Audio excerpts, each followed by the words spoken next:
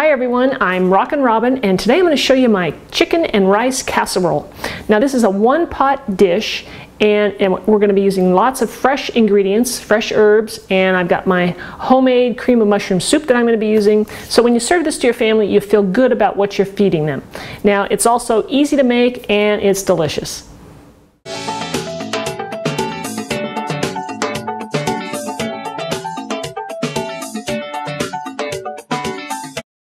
So let's go over our ingredients so we can get started with our recipe. All right, I've got here six chicken thighs. These are boneless and skinless, but you could certainly use chicken breast or any, any cut that you like. We'll need some long grain white rice. I have low sodium chicken broth. You can use uh, the, the regular full sodium if you like. I've got a little bit of milk here. And now this in this jar here is my homemade cream of mushroom soup. So I'll leave a link in the description below for you. You can get that and you can make that all right, we'll need some salt. I have some garlic powder. This is onion powder. And here I have my fresh herbs. This is rosemary, parsley, and basil. Now I'm not going to cut the basil yet because when you do cut up basil early it will tend to turn black on you. So we're going to do that at the last minute. And we'll need some onion flakes. Alright, so the first thing we want to do is we're going to combine our rice in our casserole dish and we're going to add all of our, well, pretty much most of our ingredients. So I add the chicken broth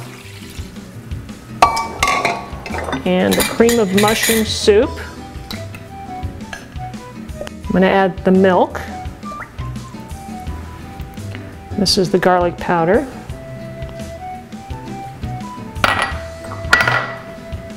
The onion powder.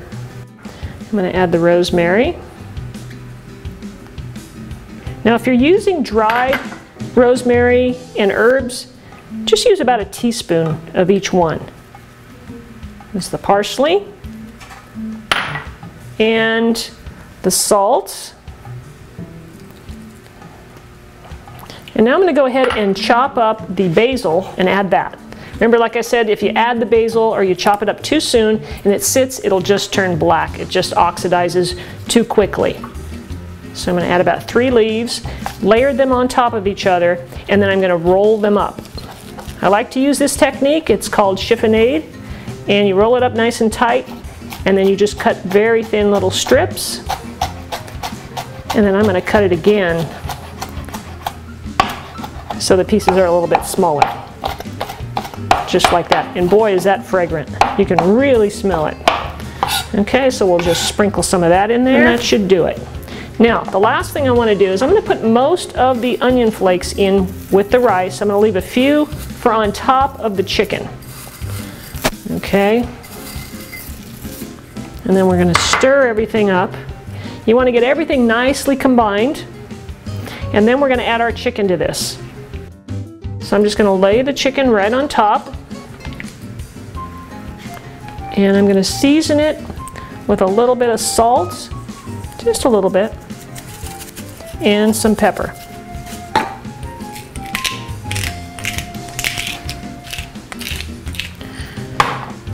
And then we'll sprinkle just a little bit of that onion, those onion flakes on top, just a little bit.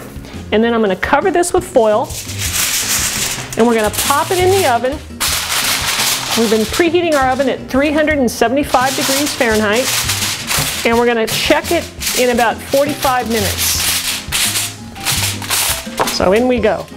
So I checked the chicken at 45 minutes and it wasn't done. I took a knife, cut into it, and that's what I want you to do. And it was still pink. So I put it back in for 10 more minutes and now it is done. So I'm gonna show you what that looks like. Okay. And I'm gonna go ahead and scoop a little bit up. Put some chicken on there. You might want to stir up your rice. We'll add a little more rice to that. Look at that. The rice looks nice and moist. So I'm going to go ahead and take a little bite for you. I'm to